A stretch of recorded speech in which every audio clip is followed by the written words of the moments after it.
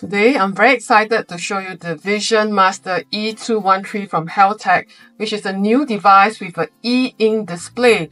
E-ink means it basically conserves much more energy on your Meshtastic device because the display uh, doesn't take up too much energy.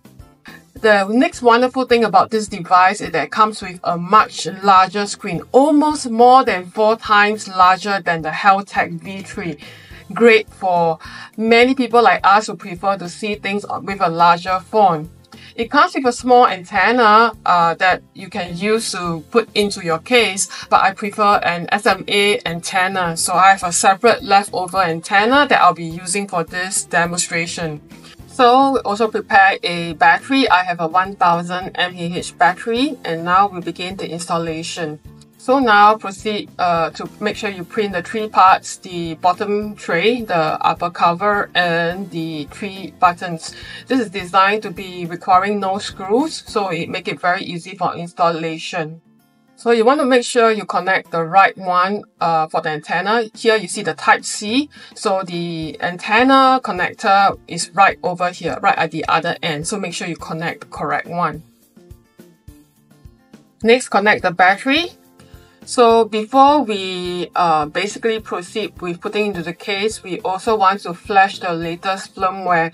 So this device comes of course with a Type-C connector that you can connect using a cable to your computer to flash. Okay.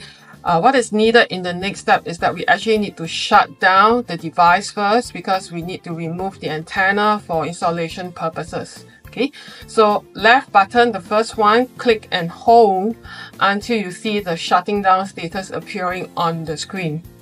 Then after that, remove the antenna as well as the spacers and nut. Then place the battery into the bottom tray and you can use some blue tack to secure it in place. You want to place the battery about 1 to 2 cm away from the edge. So if you need it, just do an adjustment accordingly until about 1 to 2 cm away from the edge. Okay, once that is done, you can proceed to place uh, the buttons in. So you can put all the three buttons in.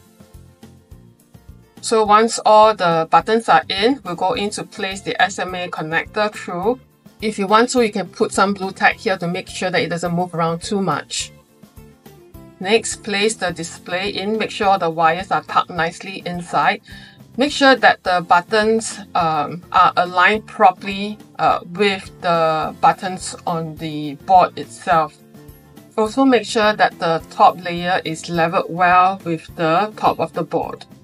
Next, take the top cover and check the alignment. So this is designed to be screwless, so there are some hinges that are put in place. You see the position are all nicely done. You want to make sure you slot in through the SMA connector first, okay? And slowly push it in and then align the hinges and then just slide and push it in. It should lock quite nicely in place.